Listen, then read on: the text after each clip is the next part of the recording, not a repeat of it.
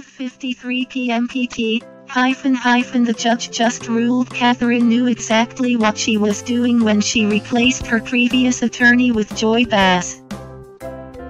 Saying there is no question in his mind. Prince Jackson looked like man on a mission.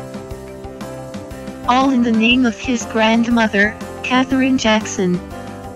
Michael's son appeared in a Santa Monica court Monday for a hearing regarding Katherine getting a new attorney.